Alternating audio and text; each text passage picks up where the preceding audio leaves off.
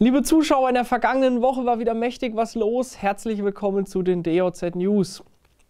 Die Fotos lassen Schlimmes befürchten. Bei einem Ausweichmanöver wegen eines über die Straße wechselnden Waschbären verlor ein Fahrer in Nisterbrück in Rheinland-Pfalz die Kontrolle über seinen Wagen. Das Auto krachte gegen die oberirdische Absicherung einer Fußgängerunterführung. Das Resultat Totalschaden am Pkw. Doch Glück im Unglück, weder Personen noch Tiere kamen dabei zu Schaden. In der Nacht auf Dienstag kam es im Bereich Wertheim-Dietenhahn in Baden-Württemberg offenbar zu einer folgenschweren Ver Verwechslung. Wie das Polizeipräsidium Heilbronn aus dem Main-Tauber-Kreis berichtet, war ein Jäger gegen Mitternacht unterwegs, um ein Feld vor Wildschaden durch Wildschweine zu schützen. Dabei kam es offenbar zu der tragischen Verwechslung, denn er erlegte zwei Pferde, die sich neben dem Feld auf einer Koppel befanden. Den genauen Hergang ermittelt derzeit die Polizei.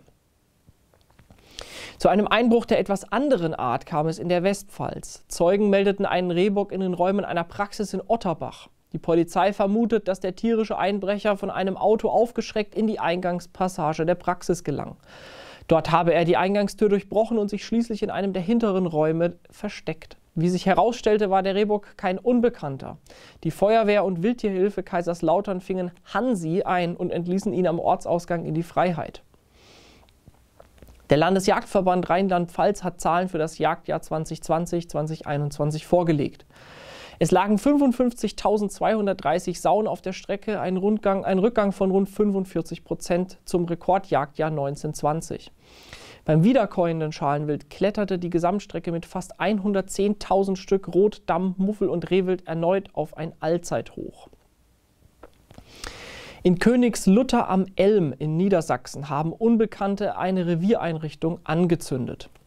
Ein Zeuge bemerkte starke Rauchentwicklung und informierte die Brandbekämpfer. Der hölzerne Unterstand konnte wenig später gelöscht werden. Die Polizei geht von Brandstiftung aus. Den Angaben zufolge stand die Jagdhütte direkt neben einem Weg. Da dieser zu dieser Tageszeit noch stark von Spaziergängern und Hundebesitzern genutzt werde, erhoffen sich die Ermittler Zeugenhinweise.